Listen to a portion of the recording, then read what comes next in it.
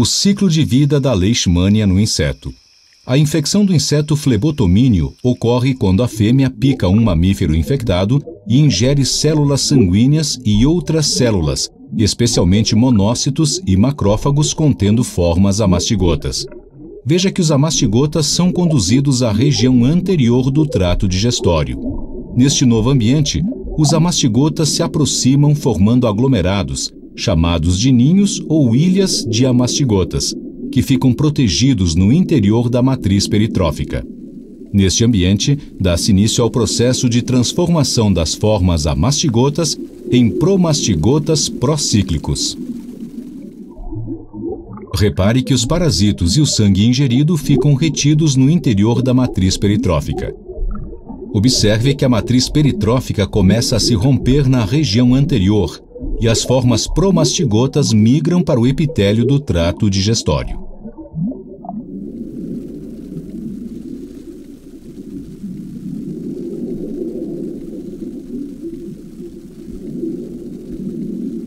Veja que quando alcançam o epitélio, os promastigotas começam a se multiplicar sucessivamente por divisão binária e aderem ao epitélio pela região do flagelo.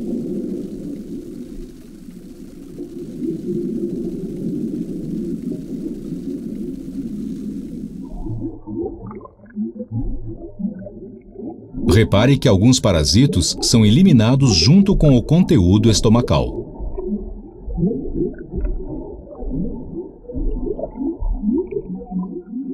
Após a divisão, os parasitos migram para a região anterior do intestino, até a válvula estomodeal, onde se concentram e sofrem um processo de diferenciação denominado metaciclogênese.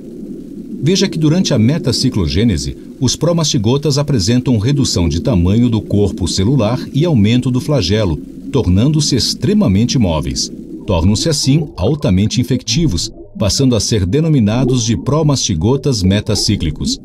Observe o aglomerado de promastigotas metacíclicos próximos à válvula estomodeal.